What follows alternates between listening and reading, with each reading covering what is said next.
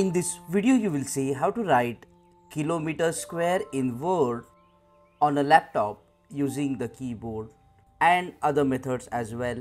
The 2 typed here is also called as a superscript and to type that 2 what you need to do is just type kilometer and then 2 then select the 2 using your keyboard or a mouse. After selecting press and hold the control key and press D on your keyboard or command D on Mac. Here you will see the option of superscript under the effects. You just have to tick this box and after ticking you can see here the 2 is raised above this baseline and then click on OK. So this is method 1.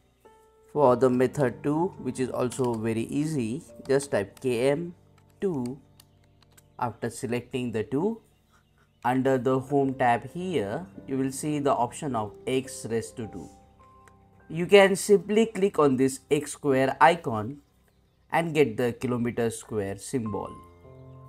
Next you can also click on the insert tab and here you will see the option of equation click on the equation tab and then here under the script select the option superscript and now you will get these two boxes.